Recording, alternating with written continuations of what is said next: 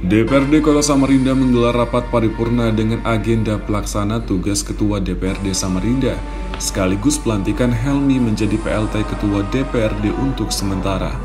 Helmi dilantik menjadi PLT Ketua Sementara DPRD Samarinda, menggantikan almarhum Siswadi yang wafat Jumat 10 Juli 2020 lalu.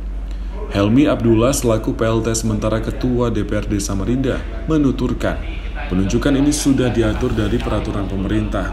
Dirinya juga berharap kepada seluruh anggota DPRD yang lain kembali aktif untuk bertugas guna menyerap aspirasi masyarakat kota Samarinda. Yang jelas kalau untuk penunjukan ini ya kita mengikuti mekanisme yang ada aja. Kalau untuk tugas-tugas saya kira pastilah namanya kita ini di DPRD ini kan pasti melaksanakan Paling tidak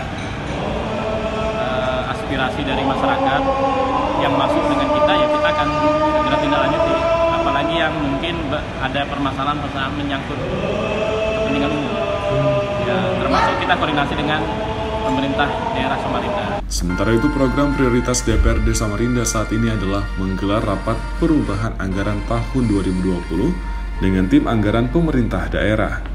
Ardi Wirya, Jasmine Jafar, Kompas TV, Samarinda, Kalimantan Timur.